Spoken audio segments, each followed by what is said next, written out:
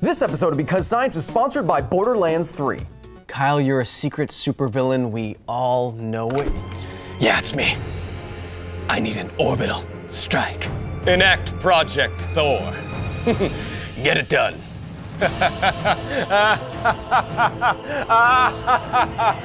Sorry. Yes, sir. Project Thor is one of the most infamous, almost developed space weapons of all time. You may have heard the name and you may have even seen the concept in movies. But what is Project Thor? How would it work? And what kind of destruction could it cause? Let's get technical.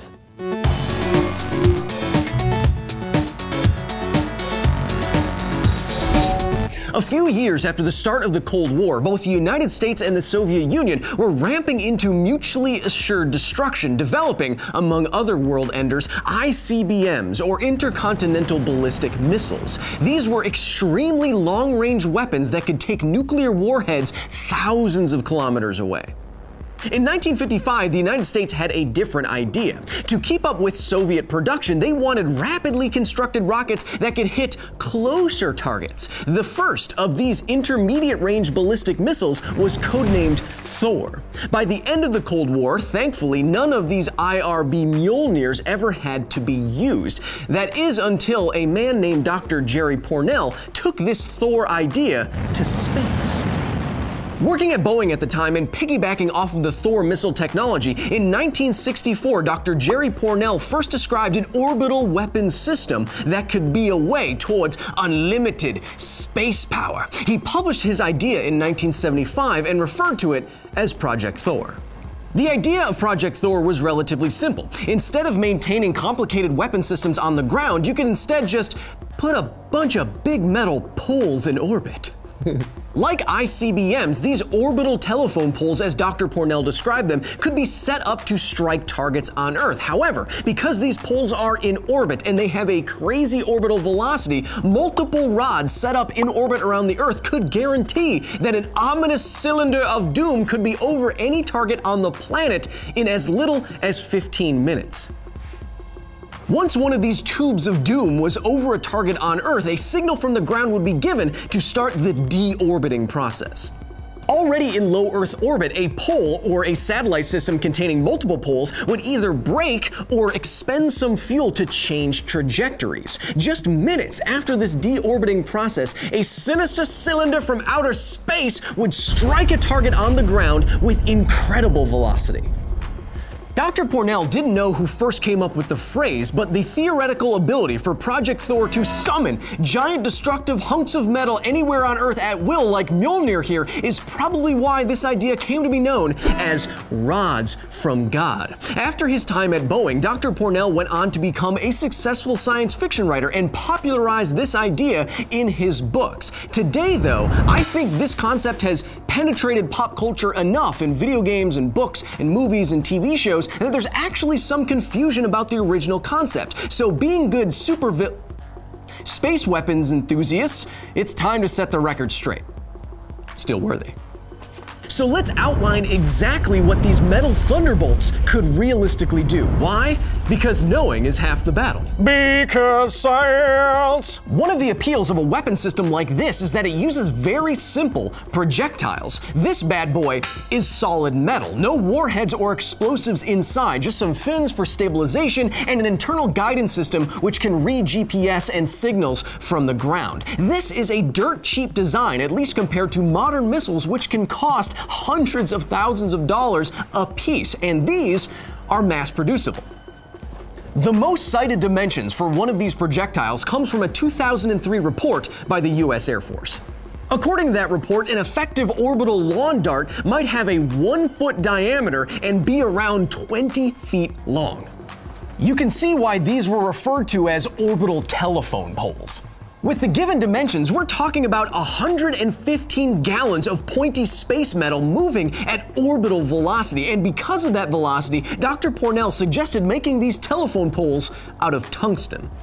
Tungsten, or wolfram, is an incredibly robust element, and it has two properties that are important for orbital bombardment purposes. The first is that tungsten has the highest known melting point of any element, and the second is that this is very, very dense, around twice as dense as lead. If this orbital telephone pole was made out of something less robust, it might burn up in the atmosphere or not have enough mass to do some real damage. And we don't want just a shooting star that does nothing. We want a tungsten thunderbolt. Yeah!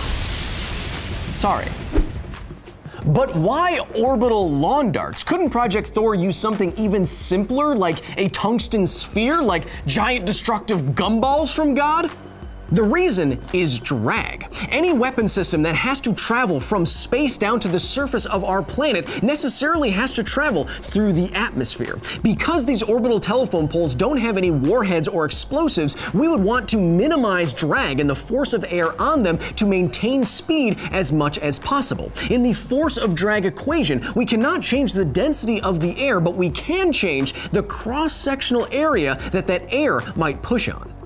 This cylinder and this sphere have roughly the same diameter and therefore the same cross-sectional area available to the force of drag. But look at just how much more mass you can fit behind this cross-sectional area if you're using a cylinder as your shape. More mass, less drag, more dangerous.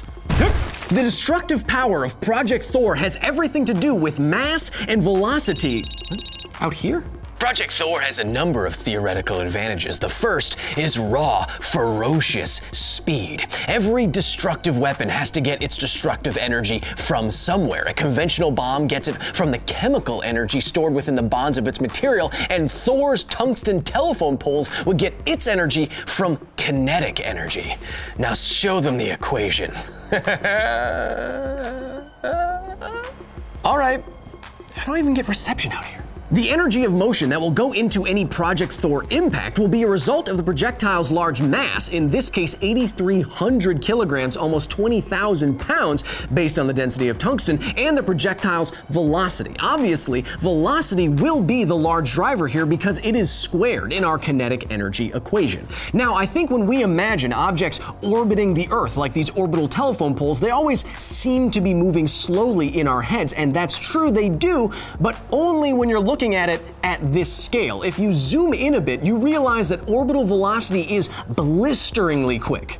For example, moving at 7.8 kilometers per second, a rod from God could complete the 100 meter dash before a nerve impulse from your brain could tell your mouth to say, wow. This velocity is why Project Thor can be simple and doesn't need warheads. Uh, it's been reported over the years across the internet, in articles, and in videos that a rod from God has another potential advantage besides simplicity. Upon impact, it might have the energy of a nuclear bomb. However, we mentioned drag before, and that's because any Project Thor projectile will have to pass through the atmosphere before hitting the ground, and this means that it will necessarily slow way down. That US Air Force report estimated a reduction in velocity from around 8 kilometers per second to around 3, or Mach 10. Do the math with our previously stated numbers, and you find that a single Project Thor projectile might impart 50 billion joules worth of kinetic energy to a target. This is obviously a lot, but it's still a thousand times less energy than even our first nuclear weapon, so Project Thor isn't on the same level. That doesn't mean that a rod from God wouldn't be terrifyingly destructive. Here is some footage of a test of an explosive called the mother of all bombs, an explosion with roughly equivalent energy. The thought of an orbiting hunk of metal dropping out of nowhere anywhere in the world within minutes and making that happen is definitely sobering and scary, and it's probably why we still talk about Project Thor today. But why do we just talk about Project Thor? Why in 70 years hasn't a military implemented a system like this? Dr. Pournelle considered Project Thor to be a sort of magic bullet against hard targets that needed to be taken out quickly. For example, he estimated that a single projectile could rip any ship currently afloat in half. It could destroy any bridge and demolish basically any building. Because of the projectile size and their extreme velocity, these are very, very hard to detect, deflect, or destroy. It all sounds like the perfect weapon system, but Dr. Pournelle himself said that Project Thor, even in limited use, makes no sense.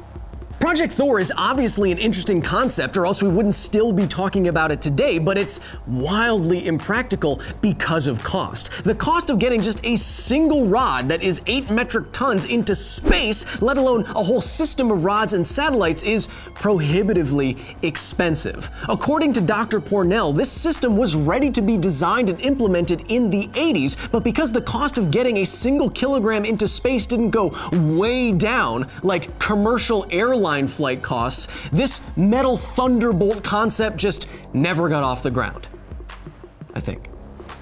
And so Project Thor never got off the ground in reality, but it did certainly take off in science fiction. After Dr. Pournelle became a sci fi author, he refined his ideas with legendary author Larry Niven, and their ideas spread to nearly all forms of sci fi media, from movies like G.I. Joe to video games like Call of Duty to shows like Babylon 5. We can't be totally sure that a concept similar to Project Thor isn't currently being developed. I mean, that report from the US Air Force was in 2003, and there was a very similar patent filed by China in 2016. But for now, this classic science fiction concept has to remain just that fiction. Because of. Oh, sorry. Yeah, because science. No, you don't get to say it. I get to say it. Yeah, just just order the strike.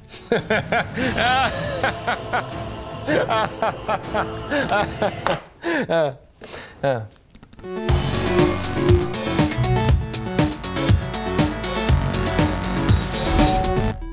We kind of quickly glossed over the point that a cylinder uh, shaped for a projectile can have a lot more mass than a sphere with the same diameter. And I want to return to that just for a second because it affects all modern weaponry. It's not just Project Thor. So we used to have like musket balls that we'd shoot, and now we have more elongated bullets. And one of the reasons why we've done this is because, again, you can fit a lot more mass in this more cylindrical shape than you could in a sphere of the same diameter. So all the bullets are like tiny little Thors. Thanks again to Borderlands 3 for sponsoring today's episode. The original shooter looter is back and bigger than ever. With four all new Vault Hunters and over 1 billion guns, it's time to lock, load, and loot. Pick up your copy on Xbox One, PS4, or PC now. Let's make some mayhem. Rated M for mature. Oh, you're, you're still here.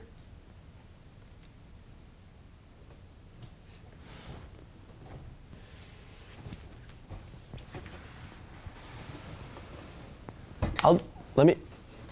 Why don't? Thank you so much for watching, Steven. If you like this video, you'll probably like some of our other space sciencey videos where we do a lot of weird stuff to our planets and stuff. If you want to follow me and Because Science on social media to suggest ideas for future episodes or just to, you know, do that sick liking and retweeting, you can do that here. Thanks.